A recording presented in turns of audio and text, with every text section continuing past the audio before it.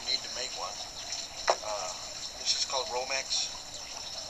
Go around, and if you know an electrician, if you are anywhere near a construction site, uh, I work in construction at the moment, so I have access to a lot of this stuff. Uh, when you strip this down, this is what you come out with. Perfect wire for uh, making your surf weights, or legs on your surf weights. It's not too thick, it's not too thin. This is basically the wiring that goes through your house. Uh, you're gonna need some scrap lead. This is some pieces I had left over, but I've also got some lead bars of uh, from stuff that I've given that I melted down to make it clean. This this has got a lot of lead still sitting, sitting inside there that I melted before. Didn't need it all, so it's still sitting there. Uh, I'm just gonna probably use what's in here. We need a mold. This is my mold. I kind of showed you on the other video that uh, drill the hole, put four nails through the bottom of it. Once I put the lead in here, tap those down. I'm going to make an eye out of one of these. Let's see here. It's pretty simple. Pair of pliers and a screwdriver. Um.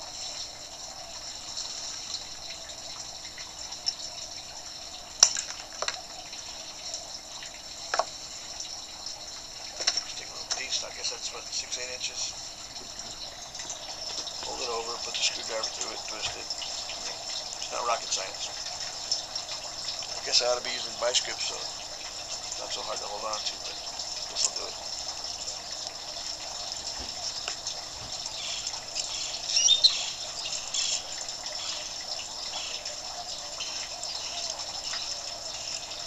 And if you get it a little tighter, usually when you start start to wind it up, it looks a little crooked, but once you get a little tighter on it, uh,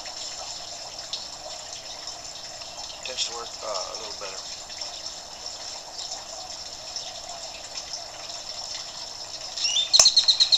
There's my eye. Is going to go in the middle there.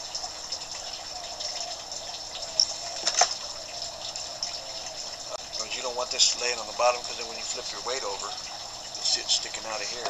So you want to kind of have it uh, elevated, elevated just a, just a little bit. But I'll get to that in just a moment. Uh, what I'm going to do here is uh, melt some lead.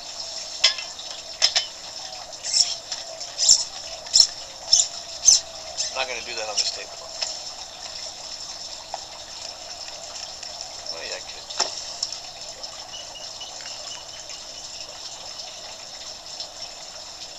Alright, let's see here.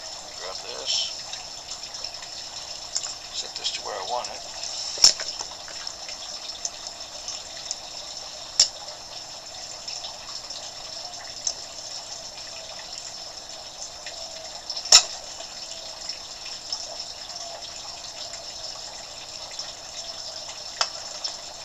Alright, that's where it needs to be. Get all this check out of the way here.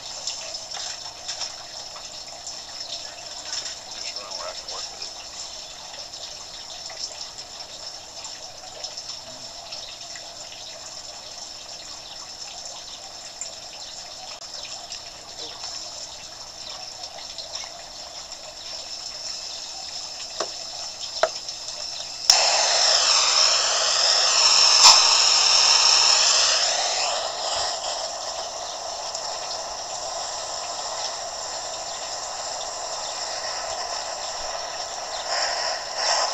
That's pretty quick.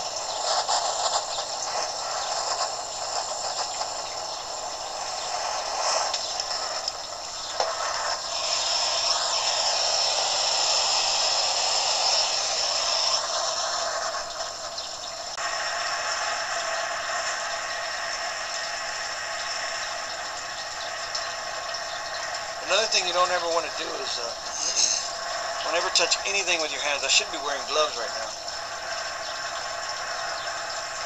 I shouldn't be sitting at a table. I'm usually I usually do this down here on my bench. But uh, just for video purposes, I'm I'm being extra careful so I don't hurt myself or damage it. I don't know if you can see that, the, the lead's melted. Not completely, but make sure I have enough melted to pour down into that mold.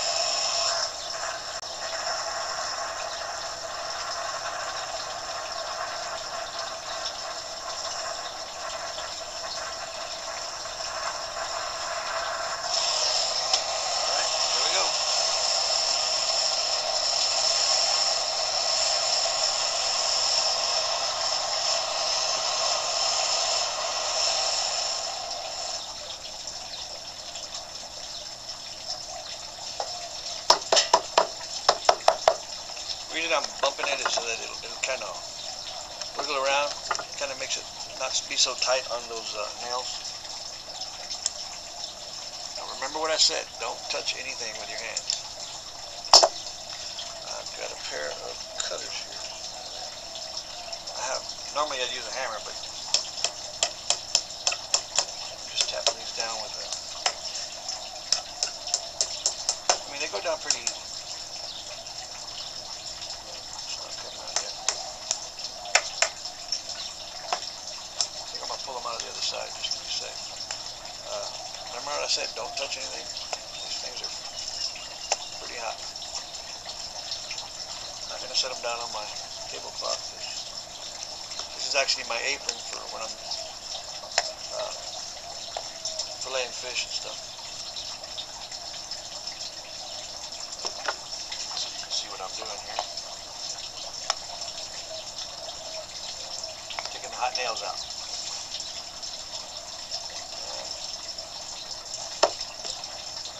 Your homemade spider weight.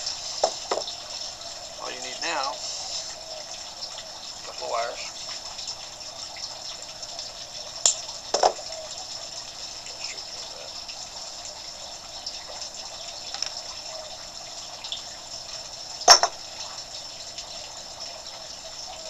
Get that little bend.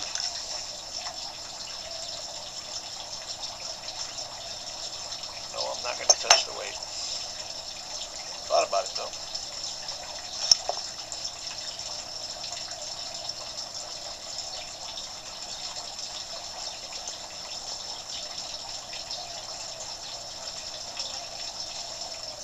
Ooh, that's hot. Feel the onto the wire. I mean, you don't normally do it right now. I mean, you make the weights, and usually I'll have a little bucket of water near me. I'm sure you can hear water running in the background. That's my pond. But uh,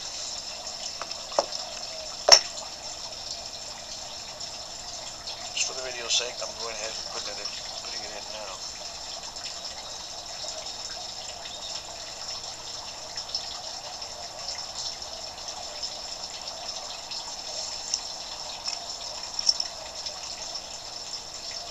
Ooh, that's hot.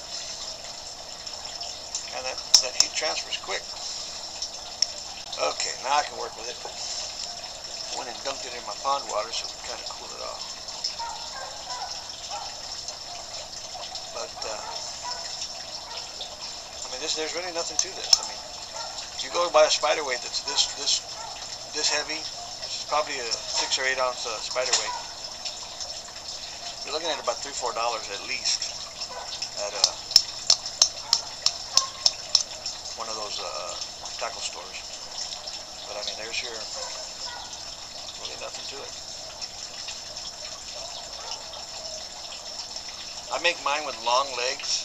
They just tend to uh, work better for me. just down here, I'm just gonna tap it on the ground. There you go. Homemade spider weight. This is the way I set mine up.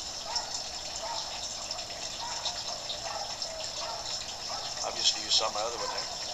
This is my old one. I've been using that one for about four or five years. Uh, this is the one you just saw me make. That's all there is to it. Make your own homemade spider weights. Thank you, and if you have any comments or questions, please contact Manuel Z, Manuel Z at netzero.net, or you can just do a search on the internet for Manuel Z and fishing, and you'll find my website.